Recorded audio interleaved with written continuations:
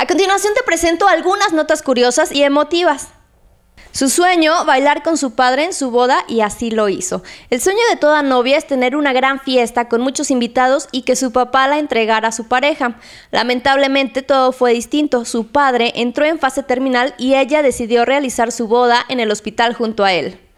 Tras la unión, ella tomó las manos de su papá y comenzó a bailar la canción de Whitney Houston, I Will Always Love You. En tan emotivo momento, con lágrimas y sonrisas, ella le dijo, este es el mejor baile de mi vida, y él débilmente le contestó, te amo.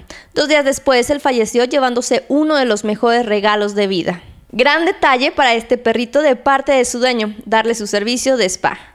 De verdad algunas mascotas son tratadas de lujo por sus dueños, pero ¿qué tal este baño tan especial que recibe este perro? En una tina, en el patio, sumergido en el agua, recibiendo masaje relajante, disfrutando el momento ante la mirada de otro perro que parece estar esperando turno. Resulta envidiable el baño que recibe esta mascota. Un niño sin un brazo juega golf. Tommy es un pequeño de 3 años, nació sin parte de su brazo derecho, pero eso no ha sido impedimento para que se dedique a jugar golf, el cual aprendió por imitación, ya que pasaba horas frente al televisor viendo partidos de golf.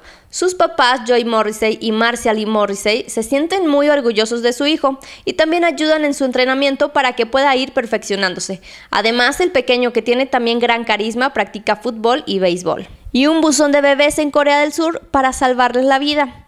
Ante la grave problemática social que se vive en Corea, donde diariamente cientos de bebés son abandonados a su suerte, generando que la mayoría pierda la vida, el pastor Lee Jong-rak y su esposa se dedican a la noble labor de cuidarlos.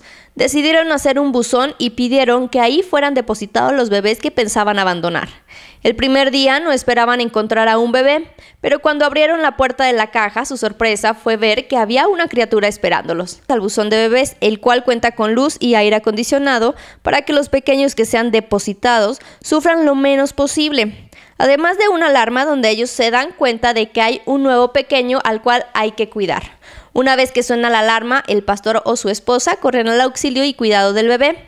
Aseguran que a diferencia de una casa hogar, aquí los niños tienen un papá y una mamá.